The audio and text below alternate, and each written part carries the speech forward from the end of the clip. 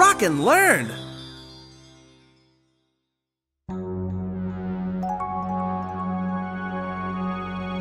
I have a writing test coming up, and I want to do really well on it. Besides, I just want to become a better writer.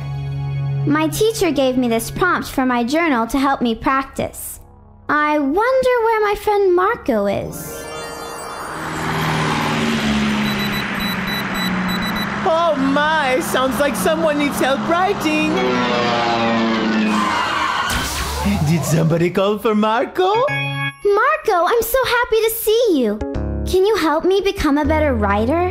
But of course, writing is one of my specialties. We'll work together to get it right. I'm Marko the Pencil. Take some tips from me. To do the best on your test, here are some strategies. Take a big breath and let it go. Taking a test shows what you know. Eat something healthy, but don't overeat. When you mark your test, be sure to be really neat. The night before, get a good night's rest so you can do your best on the test. Read the prompt carefully, and you can use my tools to write a super paper. And don't forget to prove. Stick around, and I'll show you some more so you can make your very best score. Yeah! Now, the first thing to do for a writing assignment is to read the prompt carefully. What does this one say? Write a composition about an adventure. So, what are you going to write about? I'm not sure. If you can't come up with anything real, just use your imagination by brainstorming.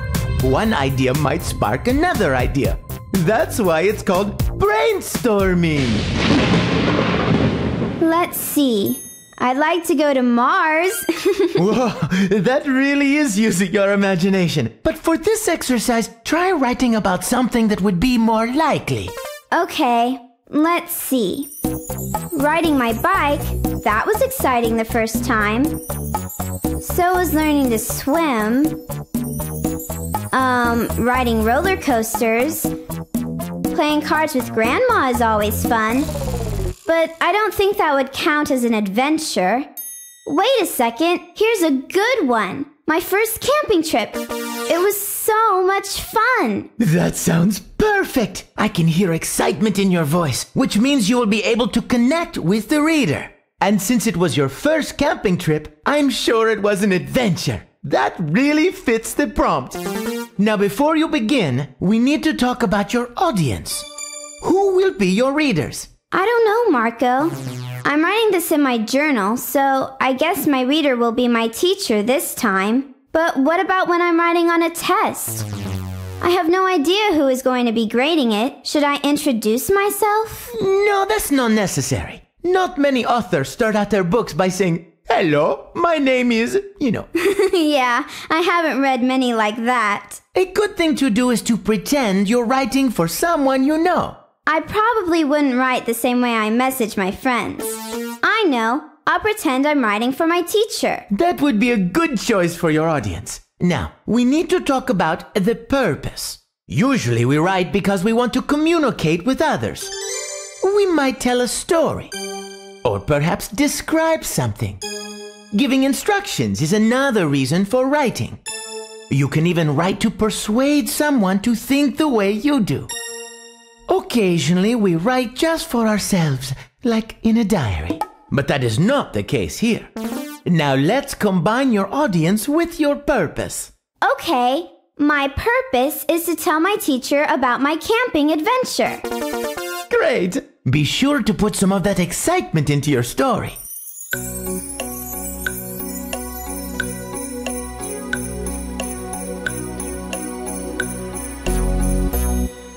I've got part of it done. Read it to me. Going to tell you about my first camping trip. I got up very early in the morning, and my family drove a long way to the campsite. My Aunt Cindy hates to ride on long trips, so I'm glad she didn't come with us. Aunt Cindy is not my real aunt. She is my mother's best friend, so I call her my aunt. She has curly black hair. We had to help unpack before we could play. At the campsite, there are lots of trees and even a stream. Kevin scared Mom with worms. I was scared of bears when we went hiking. My brother scared me by telling me that there might be bears there. We had a campfire that night. My brother woke up in the middle of the night to go to the bathroom. Then he started screaming. Oh my! Your brother was screaming? What happened? That's a surprise. But before I finish my story, could you help me make this first part better? Sure, as long as you promise to finish the ending. it's a deal, Marko. Okay, let me begin by saying that you're off to a good start. But I know you can make your story much better. And to do that, we'll use my writer's toolbox. That's cool. yes, it is. Let's see.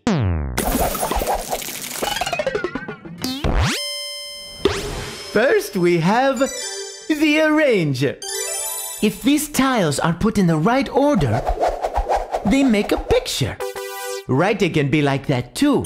If we put our thoughts and sentences in the right order, we will paint a picture in our readers' minds. The simplest way to put our story in order is to have a beginning, a middle, and an end. The middle is where we take things that happen and put them in order so the reader won't get confused. Some people even jot down their ideas on a separate piece of paper to organize their thoughts. Then, as they write, they take events in order from the list and add details to them. I see. Since I've already started, I'll take events from the story and put them in order. Good idea. Let's see. I got up. That's definitely first. Then we drove to the campsite. The next thing is unpacking. Then Kevin told me about the bears when we went hiking. After the hike, Kevin scared Mom with worms.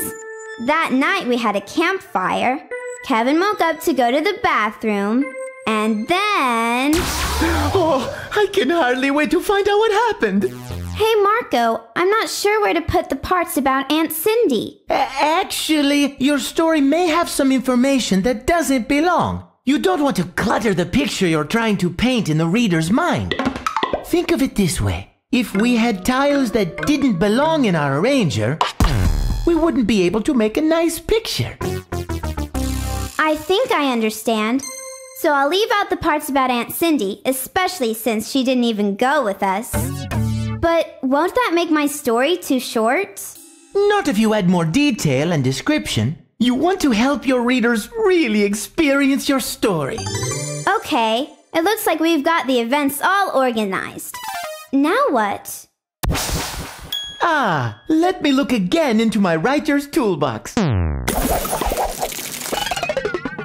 Aha! This is what I was looking for. Whoa! Have you ever been fishing? Yeah, I've tried it a couple of times with my dad. Well then, you know that you need something interesting like bait or a lure to attract the fish. Something that will catch their attention.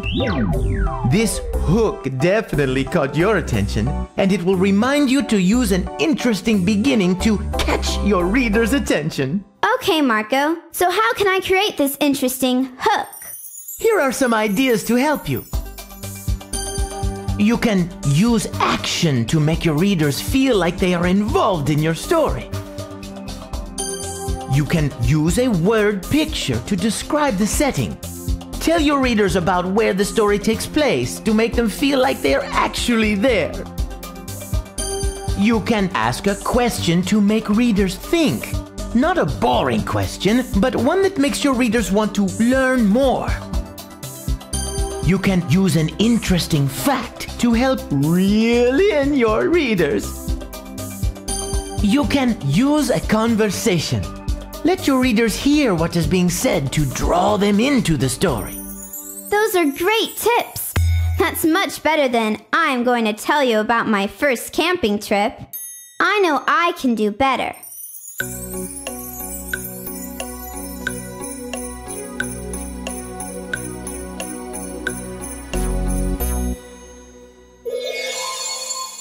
Honey, it's time to get up. We're leaving in 10 minutes, Mom called. I jumped out of bed, put on my clothes, and rushed downstairs. My family was going camping for the first time. Bravissimo! You used two of my ideas for creating a hook. You started with a conversation and went on to include some action. And you let us know your story would be about your first camping trip. Now, how did you feel about starting your adventure? I was excited, but I had no idea such a great adventure was ahead of me. Marvelous. Keep going. Let's see. Everyone helped unload the car and set up the tent. Whoa, something's not making sense to me. Did you set the tent up inside your house? No. Then maybe this will help. Bada bing! A piece of cake? Now you're not making sense. Let me explain. This is my transitional cake. See how the icing holds the layers of cake together? Ooh, I never thought about it like that. I just thought the icing was to make it taste better. Well, that too. Just as the icing makes the cake taste better, transitional words help make your writing tastier. By filling in the gaps, transitional words help the reader to follow what you're saying. I think I understand why we use transitional words, but could you give me some examples? Well, I may have just a few. Look at this poster. Wow, that's a lot of words. It sure is. Later, I will tell you how to get a copy for yourself. With so many words to choose from, you won't have to use the same ones over and over and over and over and. okay, Marko, I get the point. Repetition can be boring. exactly.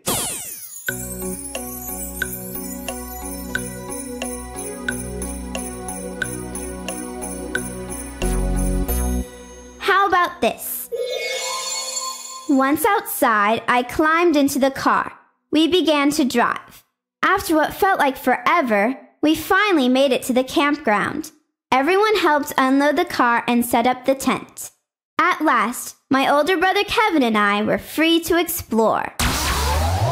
You've made some tasty sentences using my transitional cake. And you've helped your readers understand how long the car trip felt to you. Keep writing. We found a path. Hmm. I have a tool that might make that better.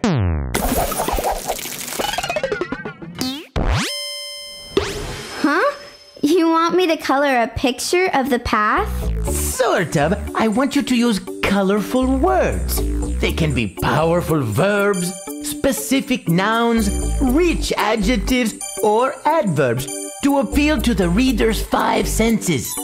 Using descriptive words can make your writing colorful. I understand. I should sprinkle in words that describe the way things look, feel, smell, taste, and sound. How's this? We found a winding path leading into the woods. Oh, I can almost see it. Now, can you zoom in and provide a little more detail? Hmm. I want to tell you about this one tree. It was almost like it was a person reaching out. Oh, ho, ho. look at what I have here.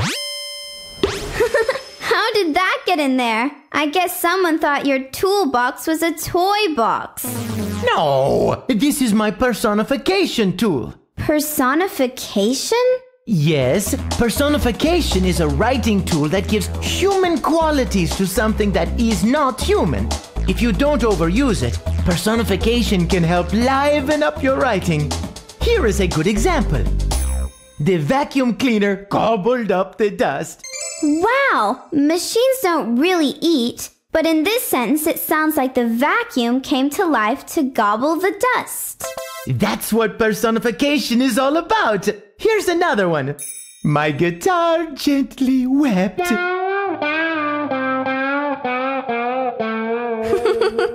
and how about this personification? My car refused to start. I get it. Refusing is something that people do, so you personified the car. Exactly. Check out this one. The stars looked down on the sleepy town. Hey, that sentence has two things personified the stars looking down and the town being sleepy. You're a smart one, you.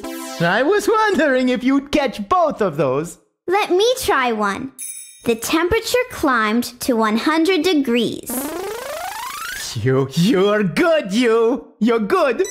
Now that you understand personification, try using it with the tree you are talking about. How's this? One tree stretched its branches over a sparkling stream. A few of its leaves danced on the surface of the water. Oh, that's so beautiful. Like at a place I was born. You came from the forest? I'm a wooden pencil. What do you think? Kevin scared me about bears. Ooh. I want to know exactly what he said to scare you. This tool may help. Now I know we're not turning my story into a comic book. Of course not, but you may want to add some dialogue in your story as a point of interest. This dialogue tool helps you develop your characters by having them speak to one another. But be careful not to make your whole story into one big conversation. Okay, here goes.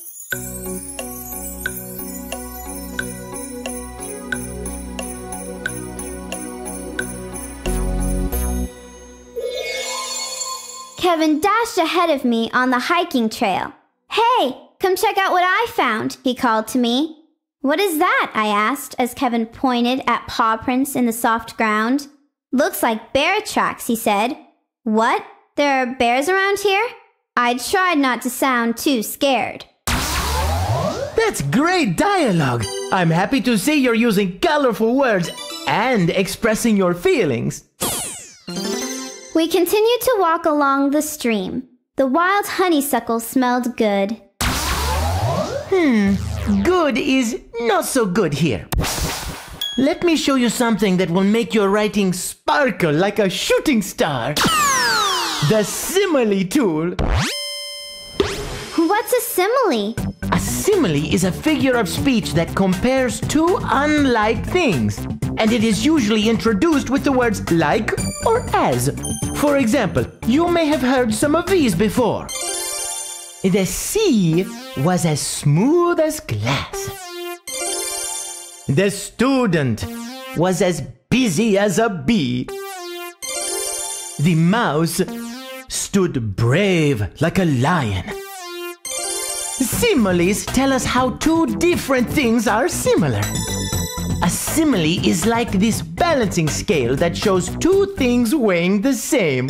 Marko, do you realize you just used a simile to describe a simile? You said a simile is like a scale.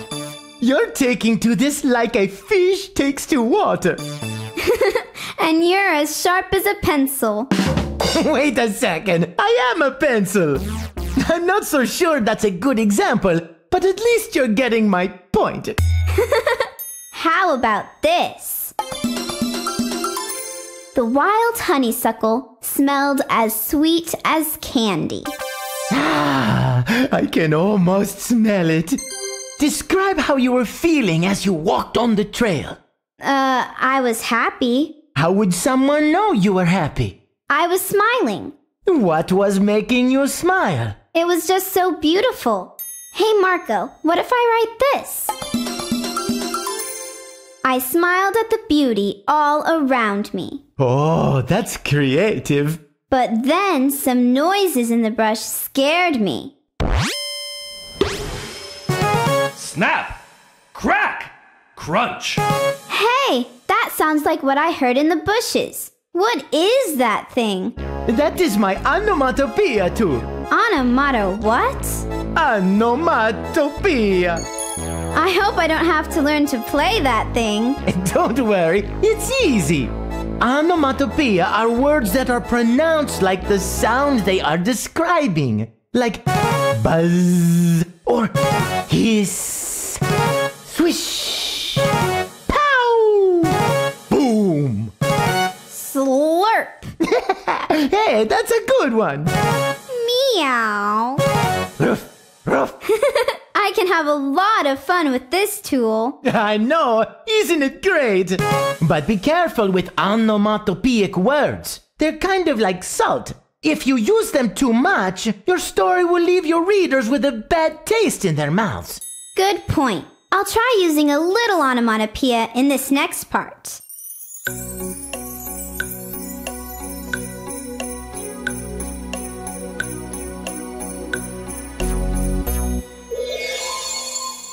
Snap! I heard something crack and crunch in the bushes. Marvelous! I see that you used onomatopoeia by itself, and then you used two of them in a sentence. How did you respond to the sounds? My stomach jumped into my throat. Wow! Great use of personification! I thought a ferocious bear was going to grab me, but it was just a playful squirrel rustling the leaves. Oh, I love your description. You are really putting my writing tools to good use. Thanks, Marko. I'll keep going. Kevin snuck into the fishing supplies. Was he looking for some cake? Huh? oh, the transitional cake.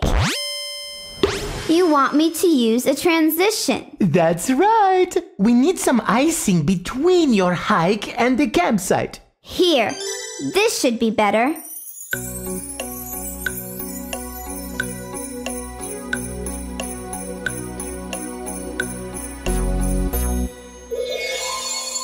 When we got back to the campsite, Kevin snuck into the fishing supplies. He had a plan to scare Mom. Nice transition. Next, Kevin had Mom open her hands and close her eyes. Hey! I can use the dialogue tool here. Go for it.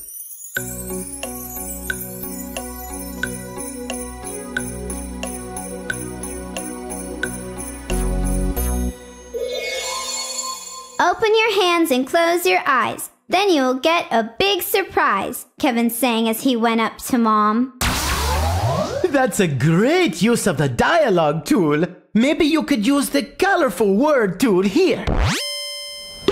Wend is a rather common word.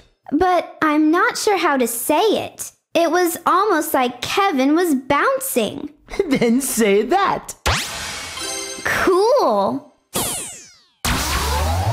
You're doing great. Now tell me more about Kevin's surprise and your mom's reaction.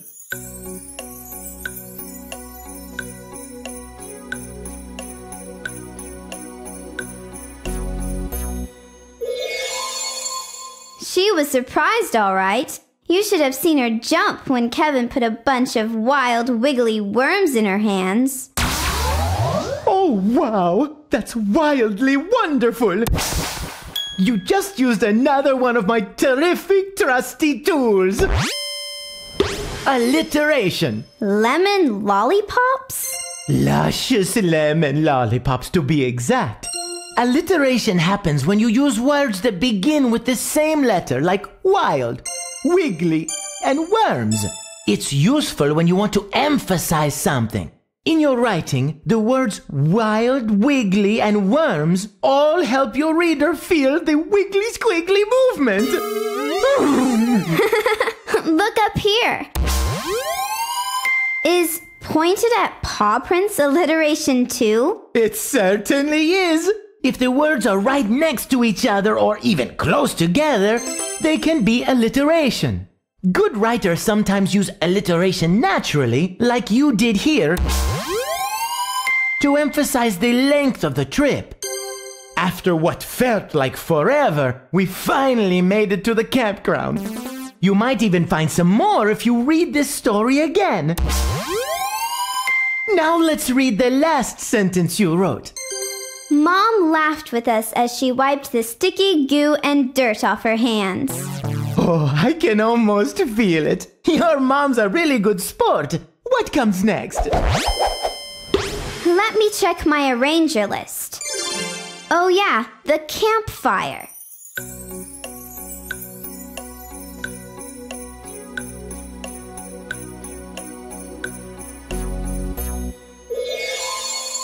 That night, I enjoyed the cozy warmth of the campfire on my face.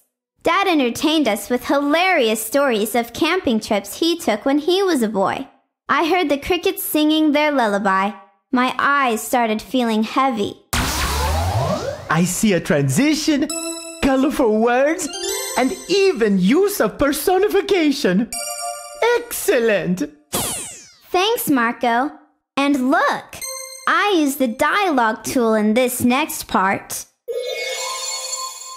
Time for bed, said Mom. We crawled into our sleeping bags and fell sound asleep. Later, when he left the tent to go to the bathroom, he woke us up with a scream. Oh, hold on.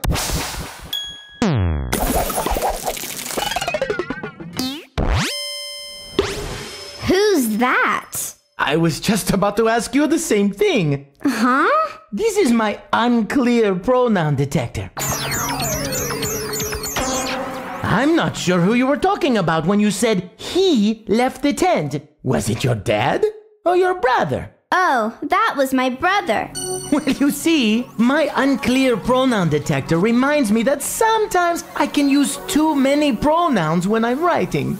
I may know the person or thing I'm writing about, but that doesn't necessarily mean my reader knows. Here is a list of pronouns.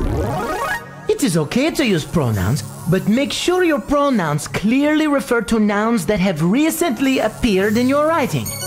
You may want to scan your paper when you are finished to double check all of your pronouns. Oh boy, oh boy! Now we're getting to the part I've been waiting for! That's right. It's time for my big surprise.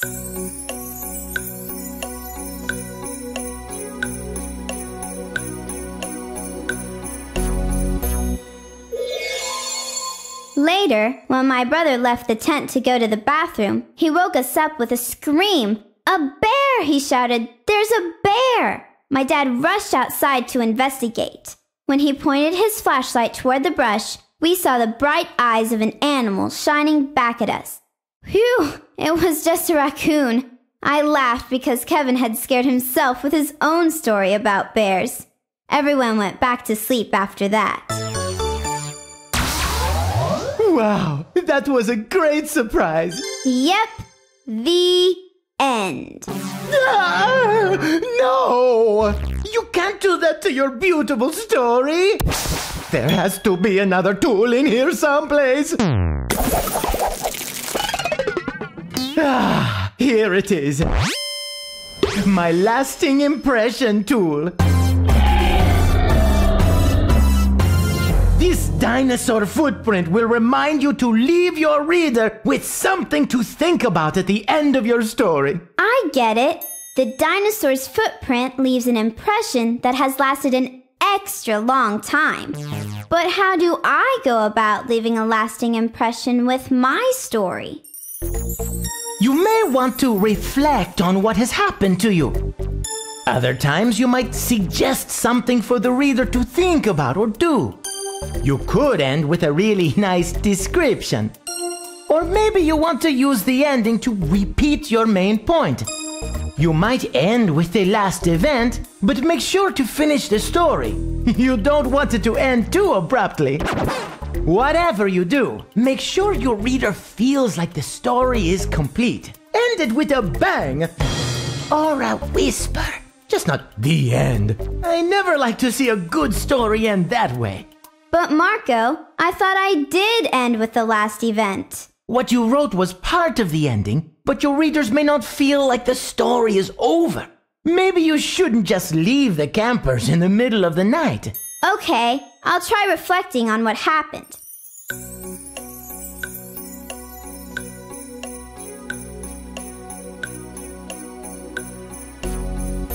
See if this makes a lasting impression.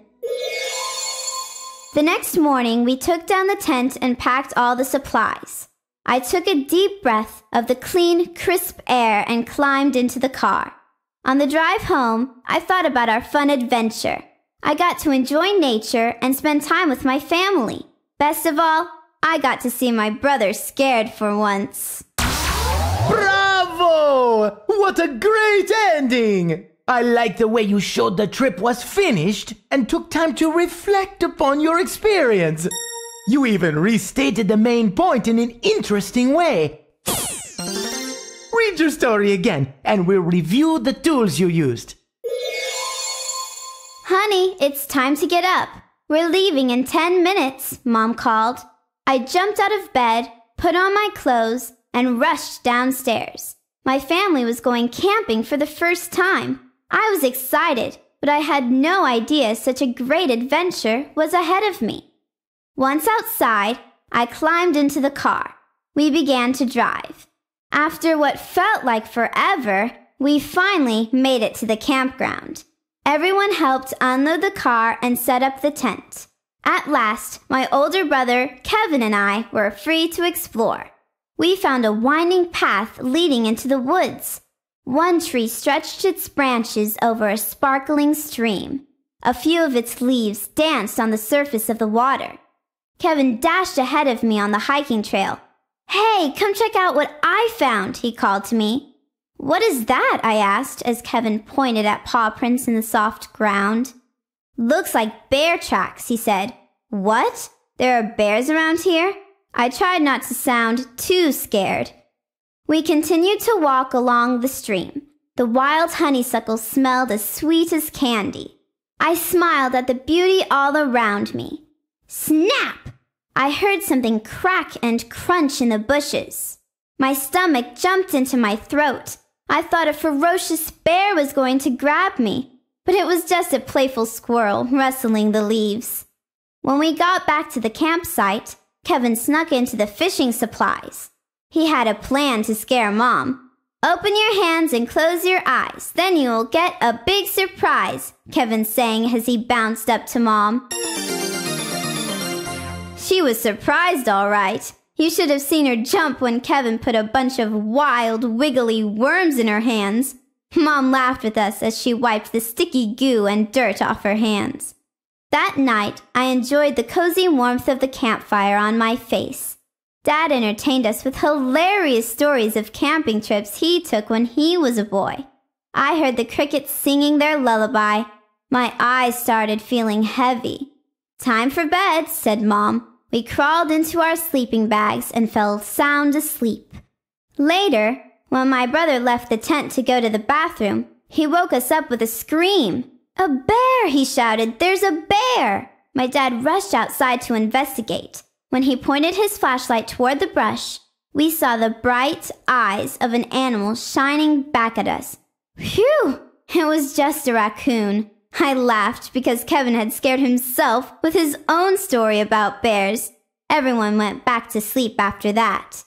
The next morning, we took down the tent and packed all the supplies. I took a deep breath of the clean, crisp air and climbed into the car. On the drive home, I thought about our fun adventure. I got to enjoy nature and spend time with my family. Best of all, I got to see my brother scared for once. Ah, nice job. I really enjoyed your story. Thanks, Marko. Now remember when you write, read the prompt carefully. Then brainstorm and arrange your ideas. Next, decide who your audience is and what style of paper you're going to write. Keep all of the tools in your mind. The arranger, the hook, transitions, colorful words, personification dialogue, simile, onomatopoeia, alliteration, and the lasting impression. Hey, Marko, you left out the unclear pronoun detector. Oh, I did that on purpose. No, really. Sometimes it is best to check for unclear pronouns after you are finished writing. That way you won't block the flow of your ideas. I'll keep that in mind, Marko. I think I'll enjoy writing a lot more now. Oh my, looks like I need to help someone else get it right.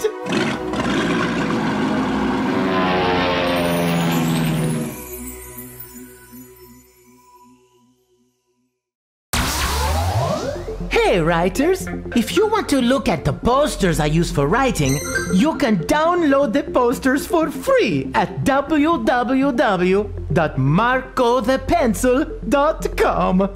Ciao!